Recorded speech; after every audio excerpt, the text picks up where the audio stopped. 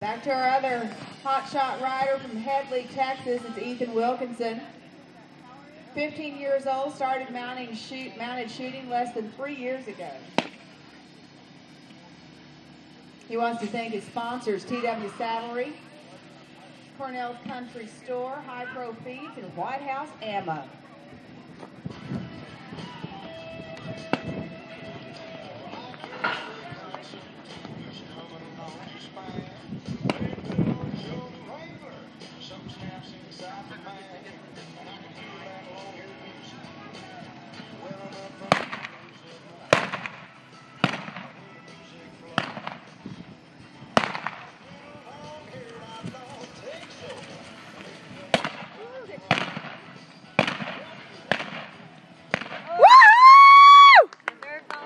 One, 17047, all good, and that's the lead right now with a stage to go and one more rider to go. Jamie Lowe's